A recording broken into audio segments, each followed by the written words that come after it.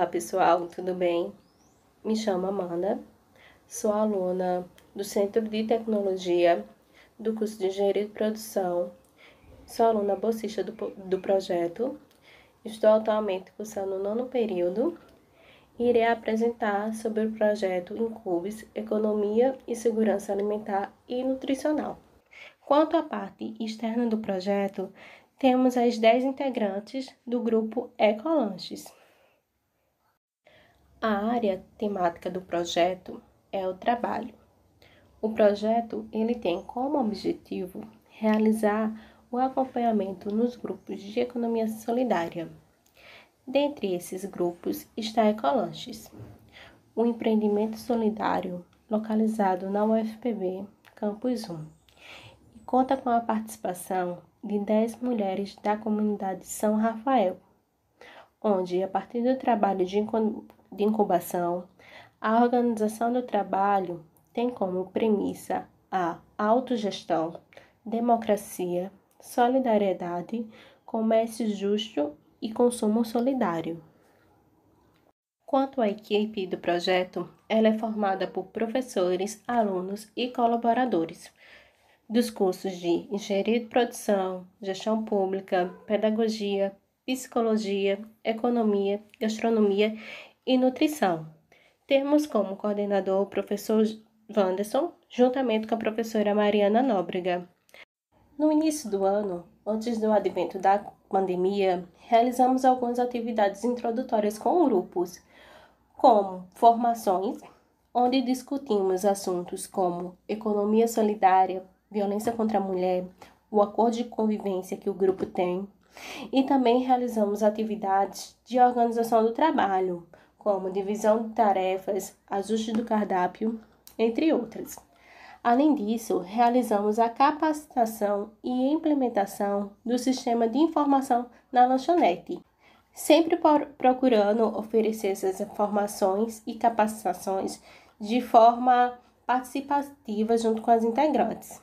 Além disso, é, realizávamos também de forma presencial semanalmente o acompanhamento com as moças em assembleias, fechamentos de caixa e planejamento das compras. Com o início da pandemia, articulamos né, as ações do projeto para prestar assessoria ao grupo. E uma das estratégias que adotamos foi se articular com outros projetos ProBECs para acompanhar o grupo. Esses, esses encontros aconteceram é, de forma remota, através de aplicativos de mensagem, o WhatsApp, e reunimos também semanalmente através dos aplicativos Zoom e Google Meet. As ações realizadas com o Grupo Ecolanches após o fechamento da lanchonete foram inicialmente auxiliar os participantes ao acesso aos programas sociais e políticas públicas voltadas à situação emergencial. Também conseguimos parceria como a CUFA, Central Única das Favelas, que realizaram doações de cesta básica e mantimentos, tanto para as participantes da, do Grupo Ecolanche, tanto para as pessoas da comunidade São Rafael. Além da reunião e a, acompanhamento que fazíamos com as moças, também buscamos promover ações que conseguissem não só atender as meninas de Ecolanches, como também as, os moradores da comunidade que elas residem. Foi a partir daí, né, juntamente com as meninas, que tivemos a ideia de promover o seu pão solidário, Ecolanches, que a partir disso, né, buscamos parceiros e também divulgamos nas redes sociais com objetivos de conseguir doações que foram é, revertidos para a produção de sopas e quentinhas que foram distribuídos né, na comunidade São Rafael. Depois disso, conseguimos promover mais de sete ações do Sopão Solidário, que foram realizadas uma vez por semana, atendendo em torno de 50 a 80 famílias por cada ação. Conseguimos bons resultados e nessa ação também conseguimos que fossem divulgados é, por portais de notícias como JPB e também o portal Correio. Então foi isso, pessoal. As ações que conseguimos executar até agora nesse contexto de pandemia. E eu só tenho que agradecer a oportunidade, né, de participar desse projeto, que foi muito enriquecedor para mim, tanto no meio acadêmico, tanto na, no meio humano, né? Você ter essa oportunidade de ajudar as pessoas, principalmente nesse período de pandemia. Então, só tenho que agradecer. E se você quiser saber um pouco mais sobre a Ecolanches e poder colaborar com os futuros sopões que irão ocorrer, é só acessar o Instagram Ecolanches PB, tá bom? Muito obrigada, tchau!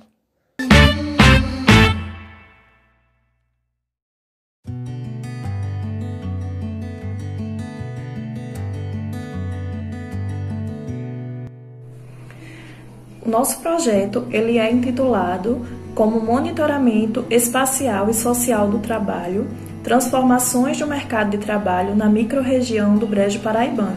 E ele faz parte do Centro de Ciências Humanas, Sociais e Agrárias do Campus 3 da cidade de Bananeiras. É, e o objetivo desse projeto é justamente desenvolver um conjunto de atividades e discussões acadêmicas com foco na temática das transformações, comportamento e perfil do mercado de trabalho da microrregião do Brejo, paraibana. É, por meio do monitoramento periódico de indicadores sobre o mercado de trabalho, bem como da produção e análise alinhadas das características locais e regionais. Meu nome é Fabiola, eu sou bolsista do projeto de extensão e atualmente eu estou no oitavo período do curso de administração no campus 3 da cidade de Bananeiras. O projeto ele foi executado inicialmente com o treinamento dos, dos discentes envolvidos para então conhecer os bancos de dados né, que seriam utilizados durante o projeto e também as técnicas que seriam utilizadas seguindo também de reuniões virtuais para definição e planejamento de todo o conteúdo. Os materiais que eram gerados nessas reuniões geralmente eram divulgados posteriormente nas nossas redes sociais através de gráficos, análises e tabelas.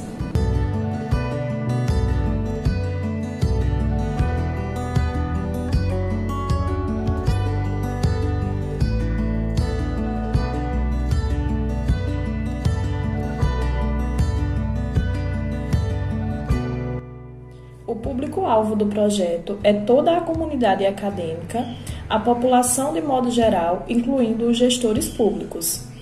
Até o momento, nós não encontramos dificuldades para prosseguir com a execução do projeto durante a pandemia, né? visto que já estava previsto é, que as publicações e o trabalho seria desenvolvido por meio das redes sociais, como por exemplo o Facebook, Instagram, o blog pessoal. É, durante a pandemia, o local para a realização das atividades do projeto foram exclusivamente as redes sociais, né, tendo como prioridade o Instagram. E já as nossas reuniões foram todas feitas por videoconferência, utilizando algumas plataformas, como por exemplo o Google Meet.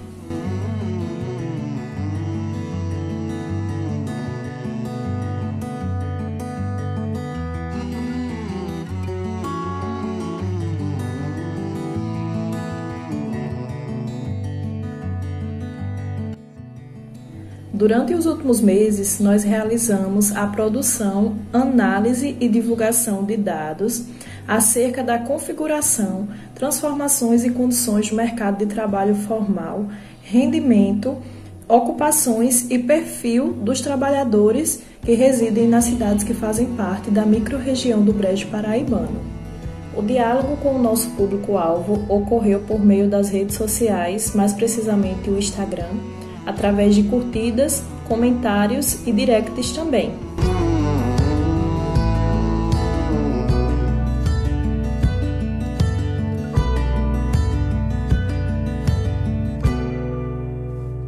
Neste ano, considerando todas as adaptações às plataformas digitais, nós conseguimos um resultado de 86 publicações em nossas redes com um público atingido no Instagram de 965 pessoas e no Facebook 183 pessoas. Então foi um resultado excelente, né, devido à pandemia em que estamos passando.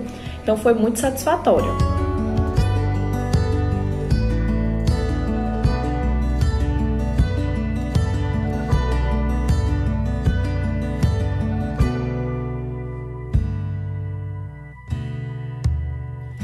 Os conteúdos gerados durante a atuação do projeto poderão ser utilizados posteriormente para estudos e análises acerca do mercado de trabalho formal, alinhadas às características locais e regionais, né, assim como entender também a dinâmica do trabalho, do mercado de trabalho no tocante à composição da força de trabalho, especificamente em municípios de pequeno porte.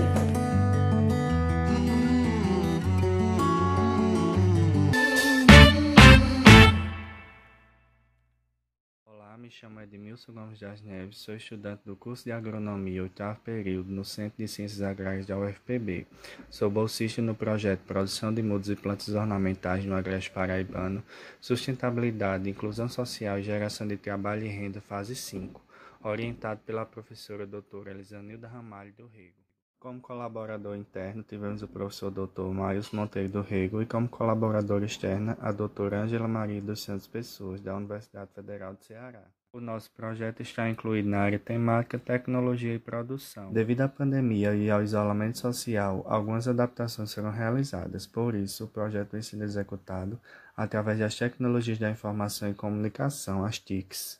Com isso, objetivou-se produzir e disponibilizar, através das redes sociais, alguns conteúdos didáticos sobre produção e manejo de algumas plantas ornamentais para que produtores, cultivadores e comunidade acadêmica e comunidade geral tenham acesso, bem como abordar sobre o reaproveitamento de materiais biológicos na produção de substratos orgânicos, e além de outras ações utilizando as TICs, como lives, palestras e etc.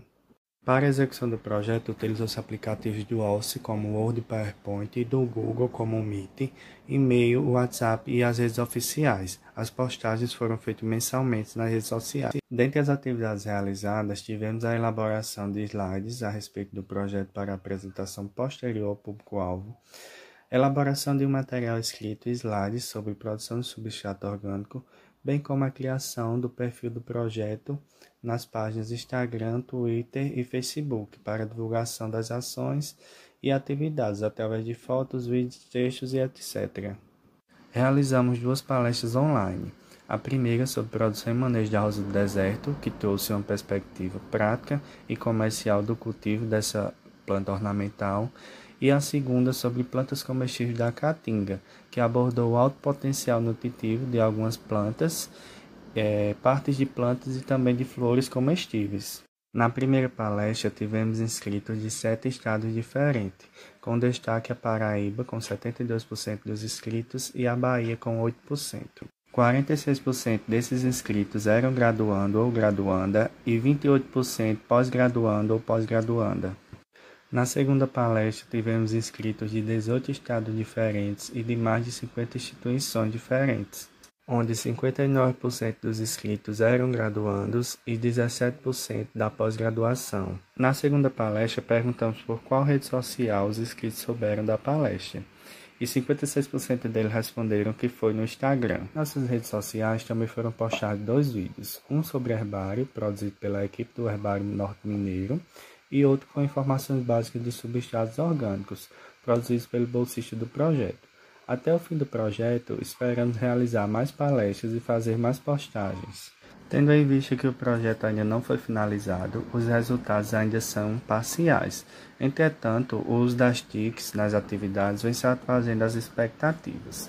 As três redes sociais, até o momento, elas possuem mais de 690 seguidores e mais de 250 visualizações nos dois vídeos, sendo o maior engajamento dos seguidores com a página no perfil Instagram. Ao final de cada palestra foi pedido que os participantes atribuíssem uma nota, através de um formulário, entre 0 e 10, e a primeira palestra ficou com nota média de 9,7 e a segunda palestra de 9,3. Algumas considerações finais é que a readequação das atividades de extensão para o uso das TICs se tornou um grande desafio, pois se fez necessário né, criar uma intimidade e uma prática com todos esses recursos tecnológicos e, e novas ferramentas que antes não, não tínhamos conhecimento.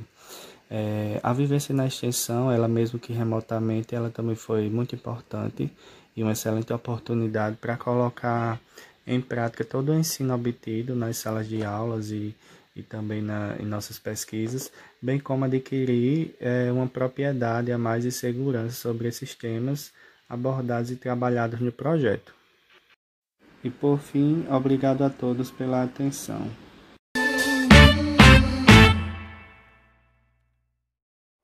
A saúde integral do músico da Orquestra Sinfônica da Universidade Federal da Paraíba Centro de Ciências da Saúde, CCS, Departamento de Terapia Ocupacional, Área Temática Saúde. Os objetivos deste trabalho partem dos pressupostos de oferecer um serviço de terapia ocupacional voltado para os musicistas da Orquestra Sinfônica da Universidade Federal da Paraíba, de modo a desenvolver estratégias para reduzir distúrbios e doenças relacionadas ao trabalho desses músicos, através de estratégias de educação em saúde, identificação, caracterização e diminuição dos riscos ergonômicos durante o seu exercício profissional, utilizando, portanto, estratégias baseadas na abordagem da ergonomia da atividade aplicada à qualidade de vida no trabalho. Quanto aos Objetivos de Desenvolvimento Sustentável, este trabalho parte do que compete o item 3, que versa sobre boa saúde e bem-estar. Participantes discentes do curso de terapia ocupacional Wellington Batista Ferreira, bolsista do sexto período, Carla Aparecida Alves da Silva, voluntária do quinto período, Julieme Liguedes da Silva, voluntária do sétimo período, Marferson Alexandre da Silva. Lima, voluntária do oitavo período, Mariana Alexandre da Silva, voluntária do sexto período, e Natália Gabriele Ferreira dos Santos, voluntária do oitavo período. Quanto ao corpo docente e técnico, os participantes são a coordenadora a doutora Bárbara Yansan Angelina Barroso, CCS, Departamento de Terapia Ocupacional, coordenador adjunto Dr. Ravi Shankar, Magno Viana Domingues, CCTA, supervisora doutora Cláudia Regina Cabral Galvão, CCS, Departamento de Terapia Ocupacional, colaboradora doutora Márcia Maria Manchoverni de Barros, CCS, Departamento de Terapia Ocupacional, e colaborador Danilo Nascimento Rolim dos Santos, CCS, Departamento de Terapia Ocupacional. Quanto às adaptações realizadas, foram utilizados instrumentos didáticos e e-mails, e-mails virtuais, conforme orienta os órgãos de saúde em decorrência da pandemia do novo coronavírus. E assim, portanto, foram realizadas reuniões através da plataforma Google Meet e mídias sociais. Foram desenvolvidas, para tanto, duas carteiras digitais e encontros de grupo através da plataforma Google Meet. Estas cartilhas versaram sobre a melhora no desempenho e bem-estar nas ocupações destes musicistas. Vale salientar que mais carteiras estão sendo elaboradas com foco tanto na saúde física como na saúde mental. Metodologia e resultados a realização de levantamento bibliográfico e leitura científica, a fim de analisar temáticas que envolvem o adoecimento dos músicos e as implicações que os acometem dentro das suas atividades de trabalho. Identificação de condições que geram impactos na saúde dos músicos, promoção de assistência coletiva e individual e melhor análise para as intervenções terapêuticas ocupacionais por meio das cartilhas digitais supracitadas. O local de realização do projeto foi virtual conforme exige a nova realidade social, e o diálogo com o público-alvo foi feito por meio de cartilhas enviadas por e-mail, páginas do projeto no Instagram e canal do projeto também no YouTube. Quanto às contribuições e aprendizados obtidos com a realização do projeto, salienta-se a inovação, considerando as novas formas de gerenciar e consolidar os conhecimentos, favorecendo assim o protagonismo estudantil e a criação de materiais digitais voltados para o público-alvo em questão, e desenvolvimento de vínculo, e assim como novos conhecimentos.